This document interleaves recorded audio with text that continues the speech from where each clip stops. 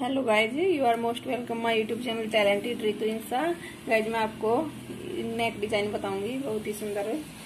तो चलिए स्टार्ट करते हैं। ये हमने नेक तैयार कर लिया है फैब्रिक पर। ये हमने राउंड नेक तैयार किया है। ये इसकी कटिंग नहीं दिखाई, क्योंकि इसको लगभग सब कट कर सकते हैं। ये हमने कुर्ती का फ्रंट हिस्सा लिया है। ये हमारा सीधा हिस्सा है और ये उल्टा हिस्सा है। उल्टा हिस्सा हमें ऊपर की तरफ़ रखना है और इस तरह से हमें यहाँ पर सिलाई लगा लेनी है। ये हमारा बार की तरफ़ जाएगा। उसमें हम जो पर्ल से हमने पोटली बटन बनाने हैं, वो हम लगाएँगे। तो पहले हम इस पर सिलाई लगा के इसको पलट लेंगे और इसका पूरा फिनिशिंग लुक आपको मैं बाद में दिखाती हूँ। और ये जब हम इस पर सिलाई लगाएँ तो ये चीज़ हमें ध्यान रखनी है। हमारा कट से कट मिलना चाहिए और नीचे हमें चौक का निशान लगा लेंगे, इसके नेक के सेंटर में भी और जो कुर्ती है इसके सेंटर में भी।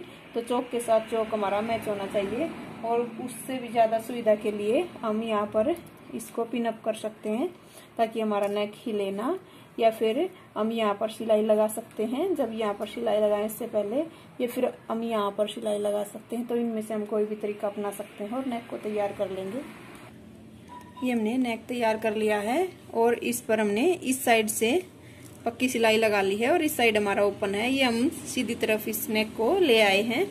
इसको हम ओपन रखेंगे। इसमें जो हमने पोटली बटन तैयार करने हैं, वो हम लगाएँगे। तो ये हमने लेस ली है मोती वाली और इससे हम पोटली बटन बनाएँगे।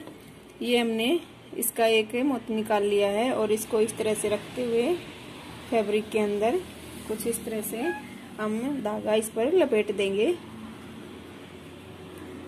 इस तरह से हमें धागा लपेट लेना है।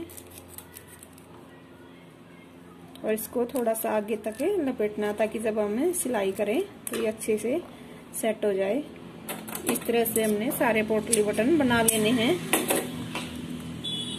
ये हमने सारे पोटली बटन बना लिए हैं। अब हमें सूट पर इनको लगाएँगे। ये हमें पोटली बटन इस तरह से लेंगे और यहाँ से हमने सिलाई लगाते हुए आना है। और ये इसके लिए हमें सिंगल फुट लगाना होगा। तो हमने हाफ़ इंच के लगभग सीधी सिलाई लगानी है ताकि जब हम शोल्डर स्टिच करें तो ये हमें दिक्कत ना दे। तो हमें इस तरह से इसको ओपन करना है और ये करते हुए इस पर सिलाई लगा देंगे। कुछ इस तरह से हम इस सिलाई को पक्का कर देंगे एक दो बार। ऐसे ही फिर हम और पोटली बटन लेंगे। हमें सेम ऐसे ही पूरे नेक पर ये पोटली बटन लगाते हुए चलना है। जब हमें ये पोटली बटन लगाएँ तो हमारा डिस्टेंस है जो सेम सेम होना चाहिए, कम ज़्यादा नहीं होना चाहिए, हमें ध्यान रखना है। इस तरह से हमें सारे पोटली बटन आपको लगाकर बाद में मैं आपको दिखाती हूँ। तो फ्रेंड्स, हमने ये सभी पोटली बटन हमारे लगा लिए हैं सेम डिस्टेंस में। अगर आपको मेरी वीडियो अच्छी लगती है तो प्लीज़ लाइक एंड शेयर ज़रूर कीजिएगा। और मेरे चैनल पर नए हैं तो चैनल को सब्सक्राइब कीजिएगा। ये देखिए, हमारा नेक कुछ इस तरह से दिखेगा। ये हमारा नेक कंप्लीट हो चुका है। इसका ये फाइनल लुक है। तो फ्रेंड्स आपको मेरी वीडियो कैसी लगी? मेरा ये नेक डिज़ाइन कैसा लगा? ये कमेंट में ज़रूर बताना। Thank you